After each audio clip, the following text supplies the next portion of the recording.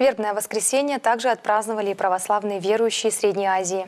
В праздник входа Господня в Иерусалим в главном храме Ташкентской епархии, соборе Успения Богородицы, при большом стечении народа литургию возглавил глава Среднеазиатского митрополичьего округа, митрополит Ташкентский и Узбекистанский Викентий. Вербное воскресенье оповещает о том, что через неделю наступит Великая Пасха, а символом этого праздника являются ветви вербы.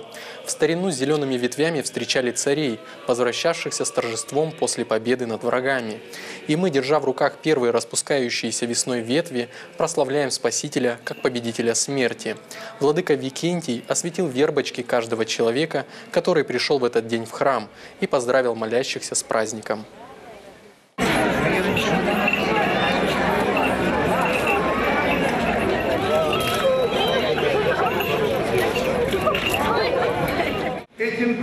Праздником и этими баями мы свидетельствуем о том, что мы верим в воскресение Христова, воскресение наше со Христом. Мы верим, что мы воскреснем со Христом для Царства Божия, для вечной жизни, живя благочестиво, богоугодно, по заповеди Божьим, совершая все свои труды.